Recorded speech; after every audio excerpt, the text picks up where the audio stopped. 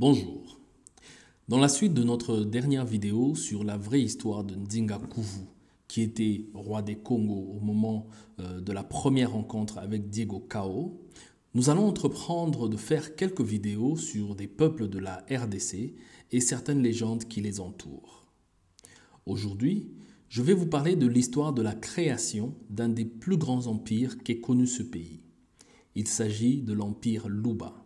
Nous allons surtout parler de la rivalité qui a opposé ces deux fondateurs, Kongolo Mwamba et son neveu Kalala Ilunga Mbidi.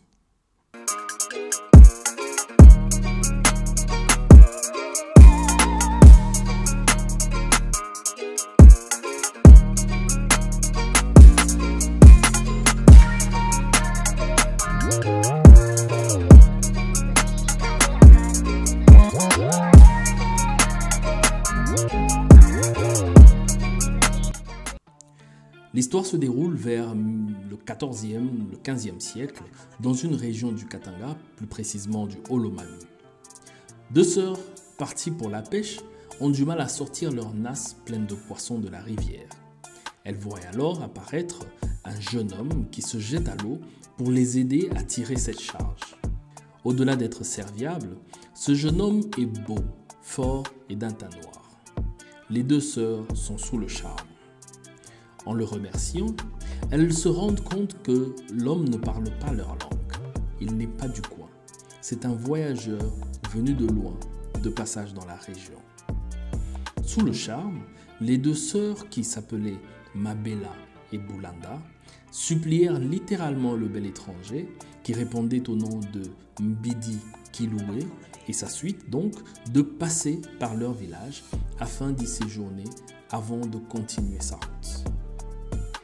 Une fois au village, elles s'empressèrent de présenter la petite délégation auprès de leur père, qui était le chef du clan et aussi le chef du village, et qui s'appelait Mouléa, ainsi qu'à leur frère aîné, qui portait le nom de Nkongolo Mwamba.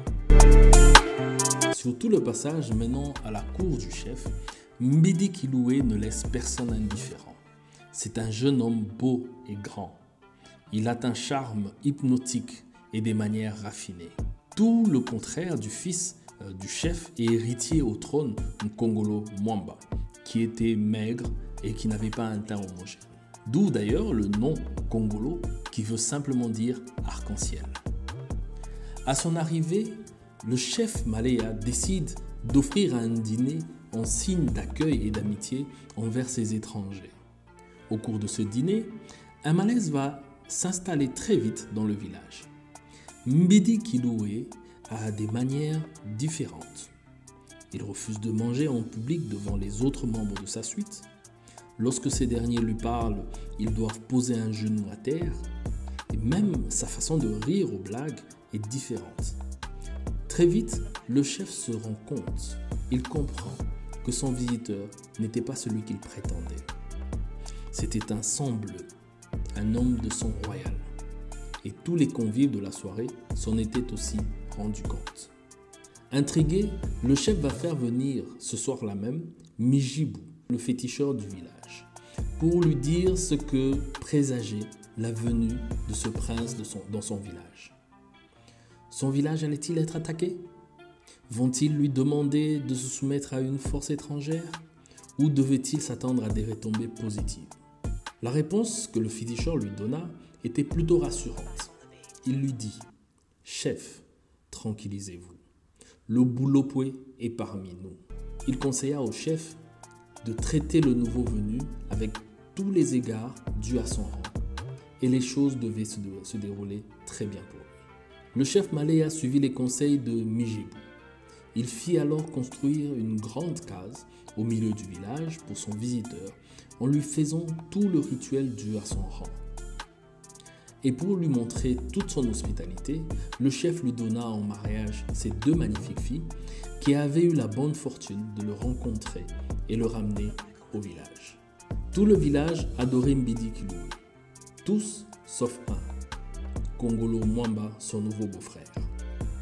Ce que Kongolo déteste chez Mbidi, eh ben c'est tout. Sa belle gueule, son intelligence, sa proximité avec son père, le fait que désormais les villageois le préféraient à lui, et surtout cette manie qu'a Mbidi de le reprimander euh, pour son comportement jugé trop terre-à-terre. En effet, le Congolo, bien qu'héritier du chef du village, manquait de grâce. Il était un peu brut. Piquait souvent des colères et mangeait en public les mpafous, les olives, euh, ce qui était une pratique propre à la classe inférieure. Mbidi n'arrêtait pas de lui faire la leçon et ça, ça l'agaçait. Alors, un soir, après une énième remarque de Mbidi, Nkongolo Mwamba entra dans une colère noire, au point d'en venir aux mains. Vexé et ne se sentant plus le bienvenu, Mbidi prit alors la décision de repartir dans son royaume d'origine en laissant derrière lui ses deux femmes enceintes qui avaient préféré rester auprès de leur père, le chef Malaya, qui se faisait vieux et était malade.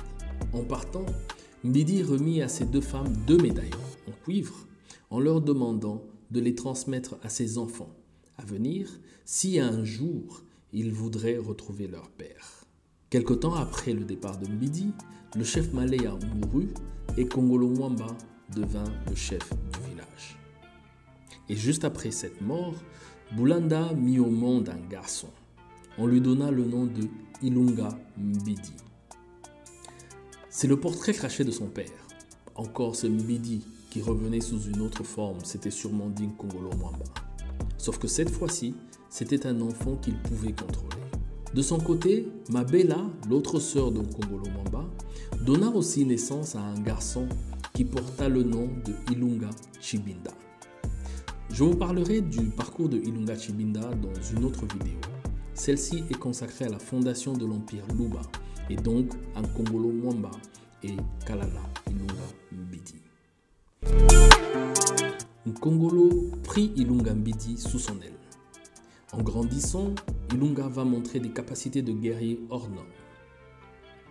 Il est très agile, malin et intelligent. Il élabore alors avec son oncle, euh, le chef Kongolo Mwamba, des nouvelles stratégies de combat pour acquérir des nouvelles terres et soumettre les peuples des alentours afin de former une entité administrative commune, le Buluba, qui veut dire les territoires égarés. Et cela est une réussite. Ilunga Mbidi porta alors le titre de Kalala, qui veut dire général d'armée. Avec son oncle, il domine désormais une grande partie de l'actuel Olomami.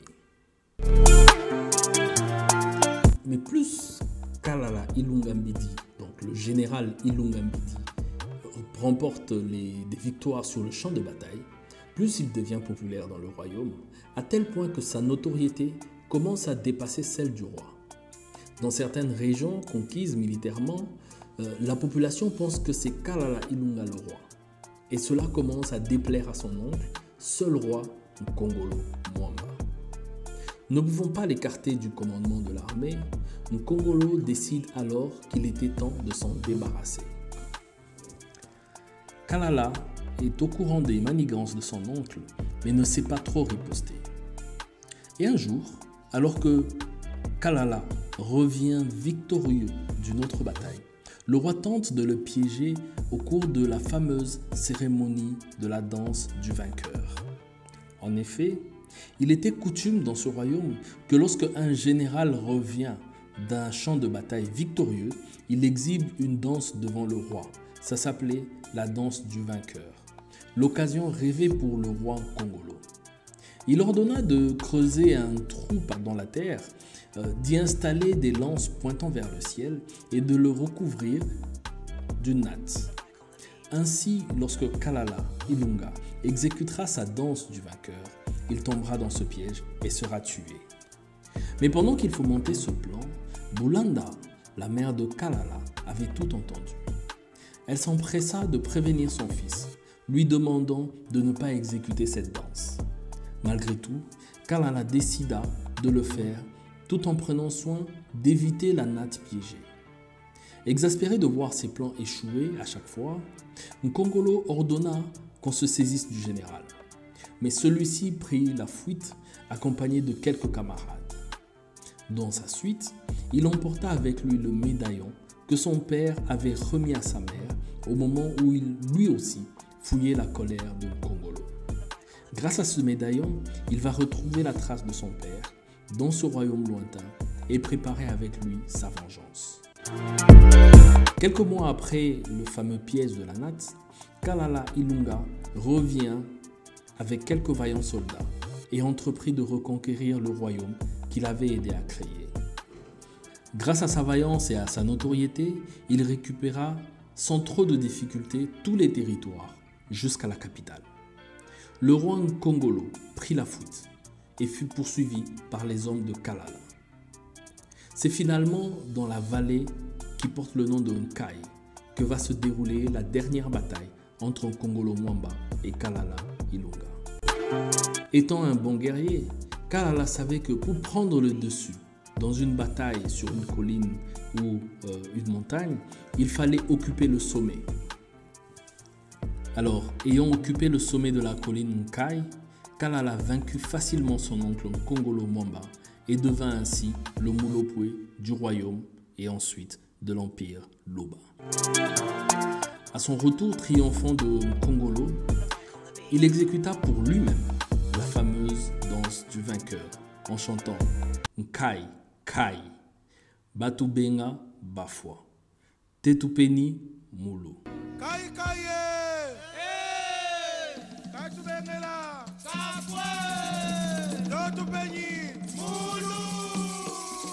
dire, dans la région de Kai, nos ennemis ont tous péri, alors que nous, nous étions au sommet.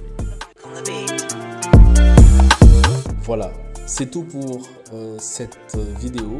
Euh, il y a forcément euh, certaines versions qui diffèrent de celle-ci, mais vous avez ici une version de l'histoire de la création du royaume et de l'empire Luba.